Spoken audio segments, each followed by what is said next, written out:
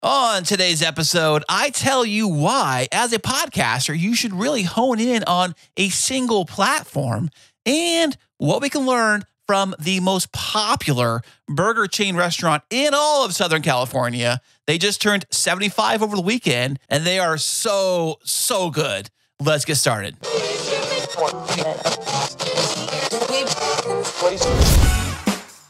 Sound matters. Be heard. Welcome to the podcast where you get exclusive behind the scenes tips to make your own show sound truly spectacular. This is Podtastic Audio. Hey, what's happening and how are you doing? Hey, how is that podcast of yours coming along? Hey, I want to check it out. Hey, don't just uh, keep it to yourself. I want to hear it too. Let me have it. I want to hear your show. I am Chris, and I am from the original Chris and Christine Show podcast. You know, you can find out every single thing about that show on a website which I built all by myself. Yeah, check that out at chrisandchristineshow.com, and there's a link to it in the show notes of this very episode. Yeah, scroll on down, and there it is. You know, I am very thankful that you are listening to this podcast today. You know, I create this episode, I create all the episodes. Actually, I create the entire show for you so you can create a better podcast for your audience, for your listeners. Or maybe having a trouble trying to find listeners. Well, perhaps maybe if you made a better sounding show, eh, it might attract people to push play twice because getting people to push play once, that's easy. Getting to stick around, eh, that's a little trickier. So, hopefully, if you have decent sounding audio and a decent flow to your show, maybe it'll make it sound better than all the rest that are out there. So, as I record this episode today, tomorrow happens to be my actual birthday. So, uh, what you get me for my birthday, huh? Listen, all presents and prizes you can send over to podtasticaudio at gmail.com. I'll take gift cards, I'll take hellos, happy birthdays, birthday wishes, or you can find me on whatever social media platform you choose. Uh, send something over there too. That'd be great. Uh, listen, I'm just kidding. You have to get me anything. It's all fine and dandy. I realize as I get older, as I have a birthday every year, the more it just becomes another day on the calendar. But speaking of birthdays, my absolute favorite restaurant of all time, can you even consider them as a restaurant? When I think of restaurant, I think of like sit down dining where a waiter comes to you, takes your order, goes back to the kitchen, they bring out your food. So my absolute favorite like fast food uh, restaurant of all time, anywhere in the world, has got to be In and Out Burger. I love In and Out. Are you kidding me? See, I also live here in San Diego, where in Southern California, In and Out is everywhere, and they've been really booming lately. They've had a new restaurant open up on every other corner. It seems like there's one everywhere now. They keep opening them up more and more, and that's great. I absolutely love In and Out Burger. I remember when I was a driver for another company, I had a particular route that I would do every single shift, and it took me by the In and Out in Mira Mesa, right off the freeway there, and I would go there every single shift. I would stop there around the same time, and I remembered I was in there one night, and um, one of the fine employees that work there, hey Chris, how you doing? Get the usual for you today? And I said, sure, why not? Let's do it. You know, every single night. I swear, I must have ate In and Out like every day religiously for an entire year or two. Like if I go somewhere and off the freeway they have like three choices, like a Wendy's, McDonald's, or an In and Out. Are you kidding me? I'm always going to go to In and Out. And if you see the line for any In and Out from open to close, they are packed. They're busy from open to close, nonstop. Uh, you will see a line or customers coming and going at an In and Out burger. You know, speaking of birthdays, just over this weekend, In and Out Burger just celebrated their 75th anniversary. 75 years in business. They've been around almost around the same time McDonald's started. In fact, uh, both burger joints kind of started really close to each other in the same general area around the same time. In and Out claims that they were the first ones to introduce the actual drive through speaker system. So before that, car hops were kind of a thing where you'd park and then somebody would come out to your car on like roller skates or something if they're goofy or whatever. Kind of the way Sonic does it, really, kind of like that. And they come out, take your order, come back, bring your food to you, and you eat it like in your car.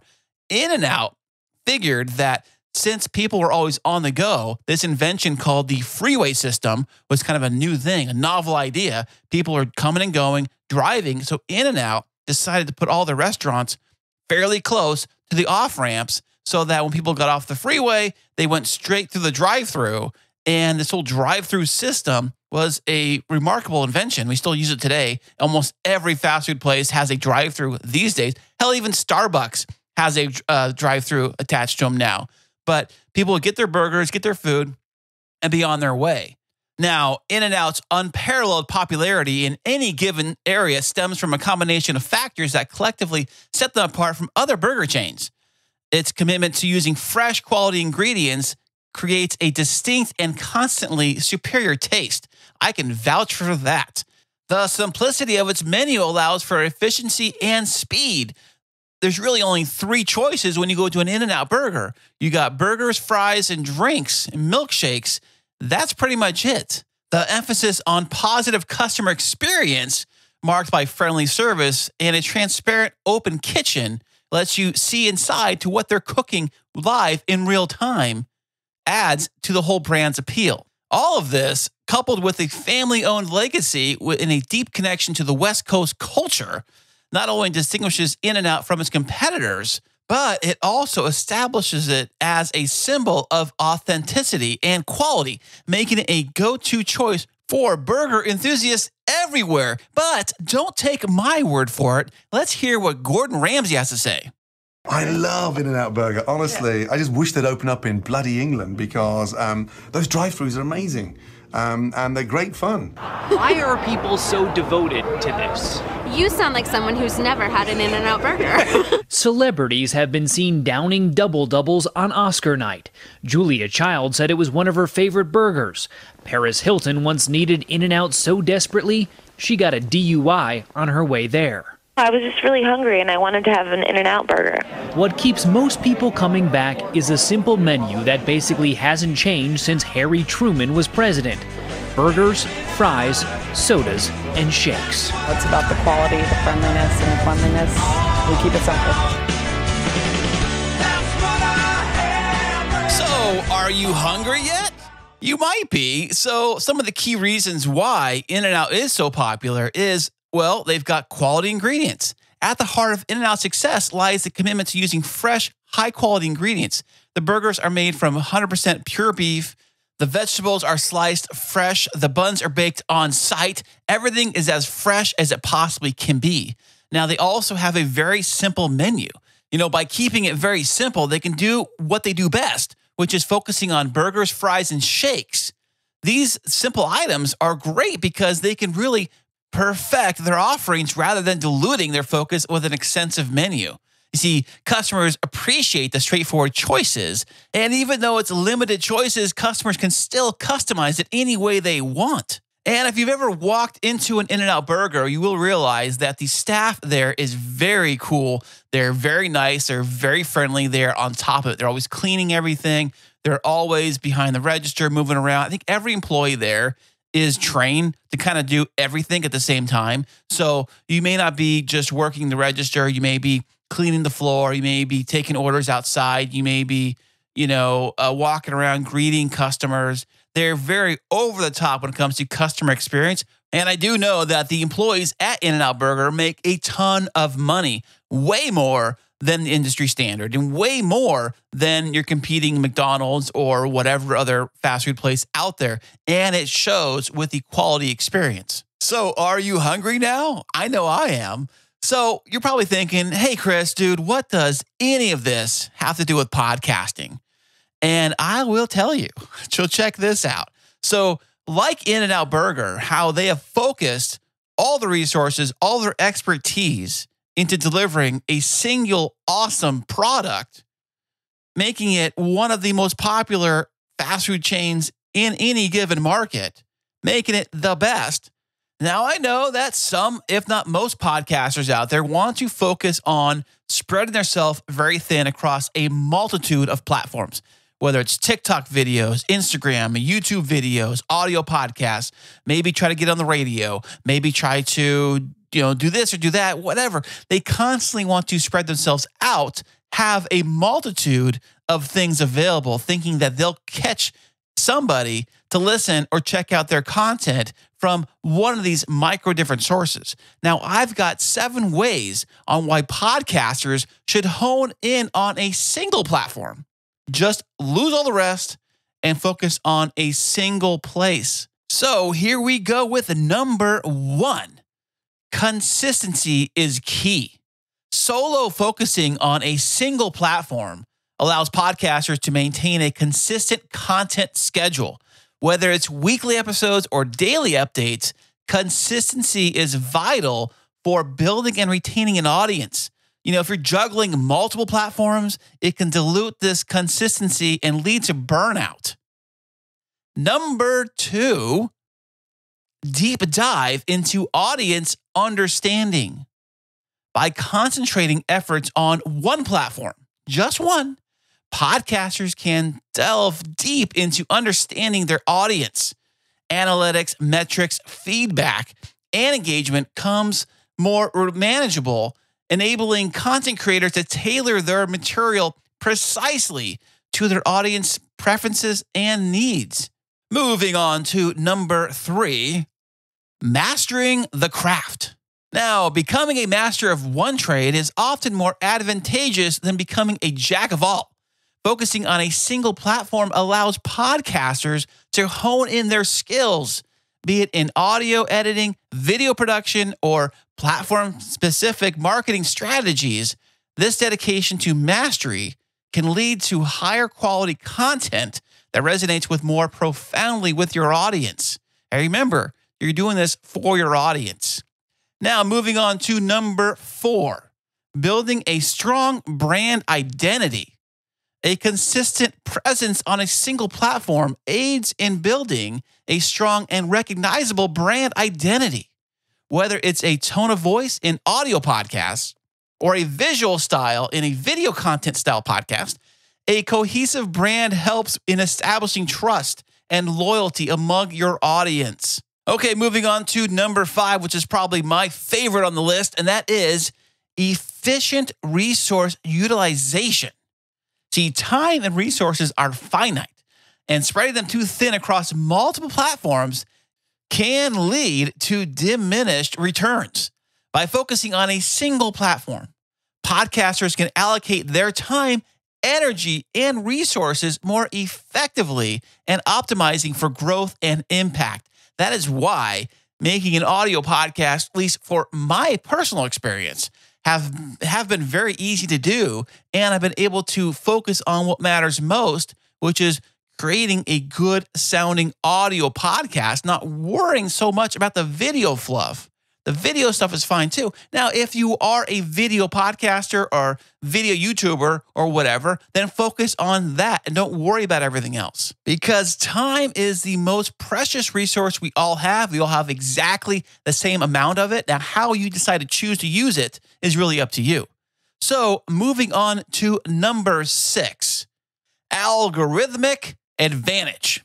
Now, many platforms reward consistency and loyalty algorithms tend to favor creators who regularly contribute content to a specific platform, leading in a higher visibility and discoverability. This can be a significant advantage in growing an audience and expanding reach organically.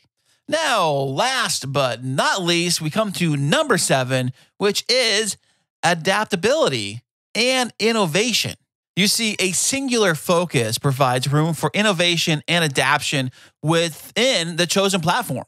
So, whether it's audio podcasts like here, see, podcasters can experiment with different content formats, styles, topics, audio drops, sound effects, intros, pushing the creative boundaries and staying relative to their audience's evolving tastes. That's what I've done here and on the Chris and Christine show.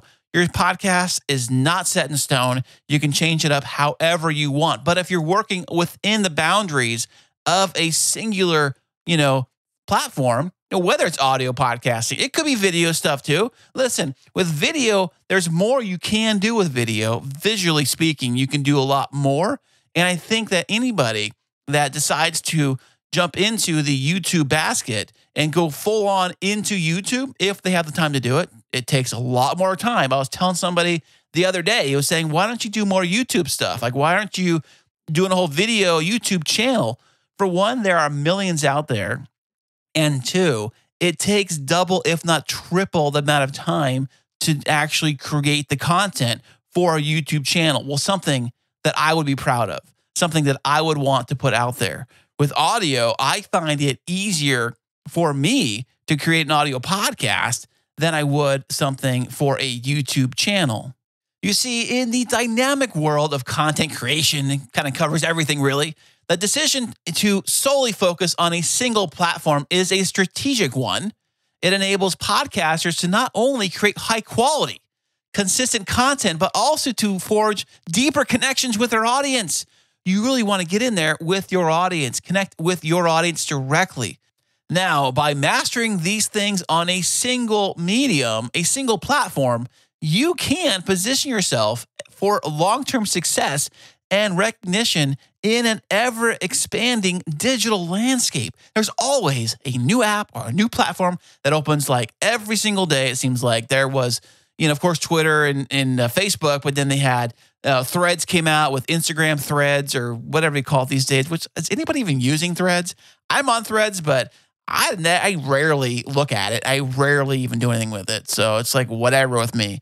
Having you know too many choices can put the audience, the listener, or even the viewer at that point, kind of like confused, like, well, which one do I use? I don't even know where to go. And you're throwing me all kinds of different things. And then, of course, you as a content creator, I mean, there's only so many hours in the day. If you're spread too thin across all of these different platforms, how are you supposed to make an amazing show when you're thinking, oh, I got to make this for TikTok. I got to make this for YouTube. I got to make this for Instagram. I got to make this for Twitter. I got to make this for Facebook. I got to make this for this post. I got to make this for that and this for that and that for that. Oh, you know, oh my gosh, it blows your mind thinking about all these crazy different ways that you can make content. I get it. But all I'm saying is focus on the one thing, just like In N Out Burger, they focus on making their one thing really, really well. And they are extremely popular because of it. You know, here in San Diego, we have Jack in the Box, which is also another burger place, which, side note, was actually created and founded here in San Diego. Their corporate office is right here in San Diego. They've got a ton of things on the menu. Oh my gosh. You can go in there and get uh, Chinese food, Mexican food, burgers, shakes, fries, chicken wings, chicken fingers. It's like a plethora of different variety of things. And they mix and match things all the time, take things out, put stuff in. And some people love Jack in the Box, but they are not as good as In N Out Burger. In N Out Burger is like, I would say, the benchmark for all of these other fast food places to reach. And they hit it on all fronts. And that's because they are simple, they do things right, and they focus on making an amazing product that obviously we all love. Hey, thank you once again for listening to this episode today. You know, I really, really appreciate it. That makes me smile so much. But you know what would make me very happy is if you gave me a honest review on your favorite podcast player, whether that's Apple, Spotify, Joe Blow's House of Podcasts. I don't know which one you use, but if you could give me an honest review about the show that I've created to help you, that would be awesome. Thank you so much and I will catch you on the next episode.